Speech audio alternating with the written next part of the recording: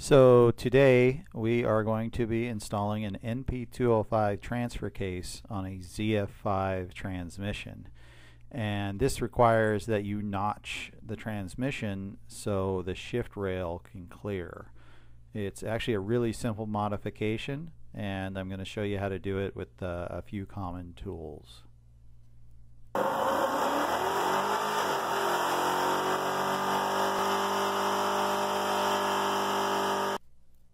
Today we're going to be taking a NP205 transfer case and attaching it to a ZF5. Uh, this transfer case never came attached to that transmission from the factory. So we are going to have to notch it for this shift rail right here. You can see that it's part of the pattern, it's not outside of it. So I've got uh, a gasket that came in my NP205 uh, rebuild kit right here. You can see that it's got a notch for the shift rail. We're going to use this as a pattern. So right here is where the dowel pin goes and you'll see uh, a hole on the gasket for that same thing. So we put it on there and you can see that there is quite a bit of gap between the shift rail and the gasket. So we don't actually have to remove that much material. The shift rail is uh, three quarters of an inch in diameter, 0.750 decimal. So I'm going to use a one inch hole saw to clearance the transmission so it clears this. A quarter inch is as good as a quarter mile. You don't have to have a lot of extra room. This is the back of the ZF5 transmission that we are going to be notching out. Uh, this is the gasket that we just had on the transfer case. Now we're going to line it up using the dowel pin hole and you'll see that the notch lines up right where the shifter bosses are. So I'm going to drop a couple of bolts in here just to keep this sort of square. Doesn't really need to be done. It doesn't go anywhere. But uh, right here is where we have to notch out. And you'll see this boss, uh, I'm sorry, this uh, strengthening rib right here and the boss might need to be trimmed. We're just going to try and do the strengthening rib first and leave the boss. Uh, all of this needs to be strong so the minimum amount of material removed is better.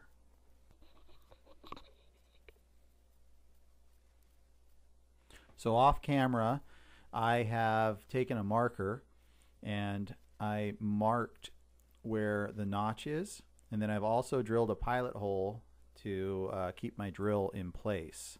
Now I'm going to take the gasket and the bolts off of here so I don't mess them up with the hole saw in case it slips. Uh,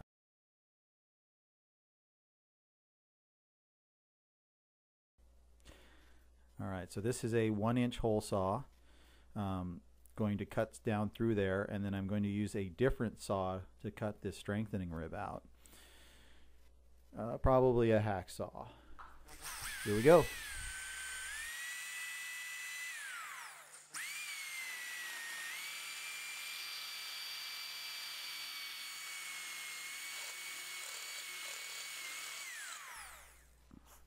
That cut like butter.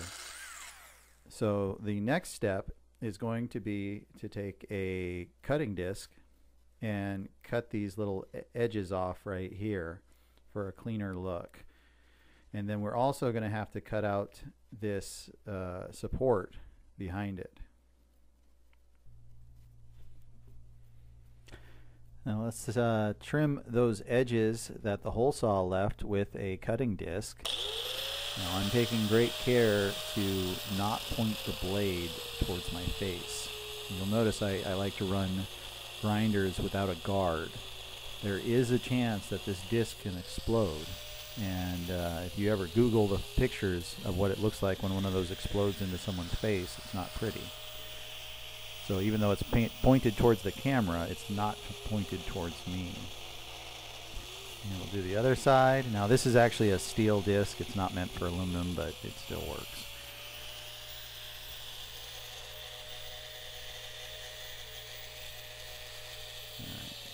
Now I cannot find an angle to do this where I wasn't in the way. But I'm cutting that support rib straight across to the edge where the hole saw went all the way down. And this is going to give me enough room to get a hacksaw in so I can trim the rest of it out. I could probably do this with a sawzall, but uh, it's aluminum. It cuts so fast that uh, a hacksaw is just fine.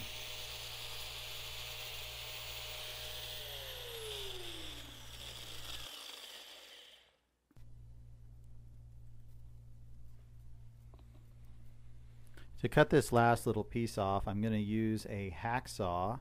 So I went over to my toolbox and grabbed the first one I found. It's not even particularly sharp, but aluminum cuts super easy. So right here, uh, I had a little bit of an issue getting it to clear the flange, the back side of the blade.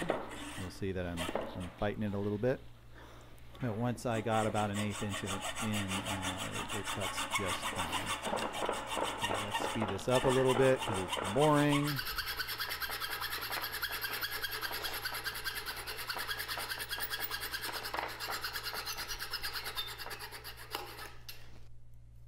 Man, look how fast that went. It just cut like butter. So now I'm going to take and put the transfer case and the transmission on the ground because if I try and put the transfer case on with the flange pointing up like this, it is going to leak from the bolt holes. Uh, they go all the way into the transfer case, and my particular transfer case still has uh, gear oil in it. And I don't like making messes, so let's go to that. So here I've got the transfer case and the transmission on the ground and I'm going to try and wrestle them together to make sure that I made enough clearance on that boss from the shift rail. And if you look at it, these are the holes I was talking about that would leak. They go all the way through to the inside of the transfer case. So when it goes together, it'll get a thread sealer on those so they don't leak. All right, so I rotate it down. Um, it's got to slide in on the splines first, and I probably should have put a little bit of grease in there just uh, to keep it from corroding in the future and to make it slide on better. And it doesn't want to go in the last little bit. So I am going to get some bolts and pull it tight with those bolts to make sure that everything fits together like it should. It's much easier to do it on the ground than to do it on a lift underneath the truck. Now, the ZF5s are known for the tail housing to break, and a NP205 is a super heavy transfer case. So if you see on the side of the transfer case, there are three bolt holes. Um, those normally went to a mount on the frame on F250s. I am going to take and make a mount similar to that for my truck, but I'm also going to run a couple of support struts up to the transmission. And I'm not sure where exactly I'll be able to do that to clear the drive shaft, but I feel like it'll take some of the, the support uh, off of the tail housing. Uh, I've got shiny new grade 8 bolts to put this together with some washers. I am having a terrible time with this gear wrench it's uh, sticking. Uh, I think I need to take it apart and put some grease in it or maybe just replace the thing. It sat in my boat and got rusty at one point, so it's been junk ever since then. So, uh, anyways, it looks like the shift rail clears these bosses really well now. I just have to fabricate some sort of shifter. And I, I plan on doing a shifter that just hangs off of the boss like the factory Ford one does. I don't need any sort of crazy twin stick shifter. As a matter of fact, I can't figure out for the life of me a reason why you would need to put the truck in front wheel drive only. Uh, I suppose if you broke a drive shaft or something, I, I feel like the twin stick shifter is just something that everyone buys because they think it's cool and it doesn't really have a function. So, anyways, till next time, I appreciate you guys watching this video and uh, tune in for some more uh, videos on my Cummins powered ZF5 diesel F250. Till next time.